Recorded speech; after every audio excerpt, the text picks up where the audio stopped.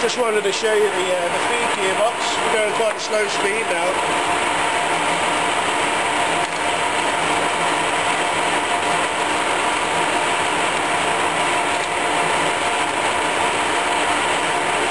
And you can see the feed shaft there.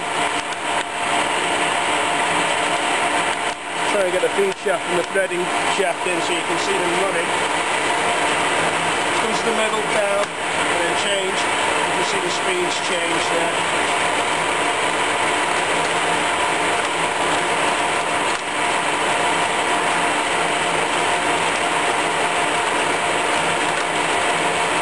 A lot faster now. Just engage off. See both games getting a lot faster. So you can hear that beat, the gearbox is working fine.